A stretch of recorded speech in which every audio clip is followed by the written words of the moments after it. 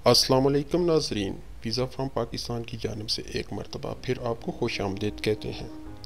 नाजरीन, आज हम आपसे जो चार यूरोप के ममालिक डिस्कस करेंगे, वहाँ की शरीयत या पी आर लेने के लिए आपको उन ममालिक के कुछ कवानीन पूरे करने होंगे, जिनमें एक तरीका शादी के ज़रिए है और दूसरा तरीका वहाँ पर कोई डिग्री मुकम्मल करने के बाद का है।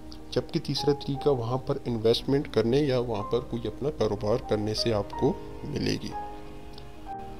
तो फ्रेंड्स वीडियो को शुरू करने से पहले हमारी आपसे गुजारिश है कि वीडियो को पूरा देखें और हमारे चैनल को सब्सक्राइब करें। अगर आपका कोई सवाल हो तो आप कमेंट बॉक्स में पूछ सकते हैं। तो जी फ्रेंड्स हमारी लिस्ट में चौथे नंबर पर यूरोप का खूबसूरत मुल्क बेल्जियम आता है, जिसको यूरोप का दिल भी कहा जाता है।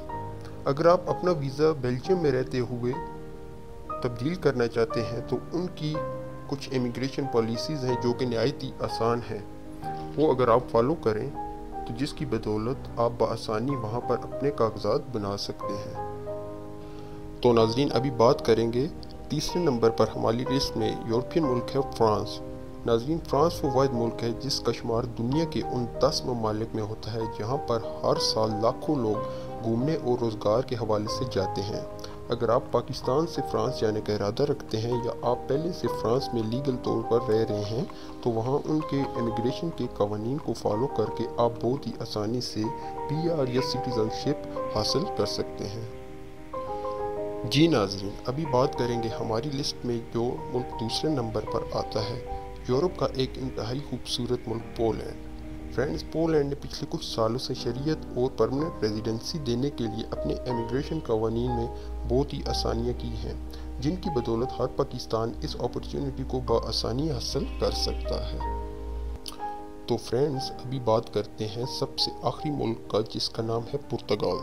पुर्तगाल यूरोप का वो वाद मुल्क है जो रहने और खाने के हिसाब से बहुत सस्ता है। अगर आप पुर्तगाल में लीगल तौर पर इंटर होते हैं तो आप वहाँ की शरीयत नहायत आसान तरीके से हासिल कर सकते हैं।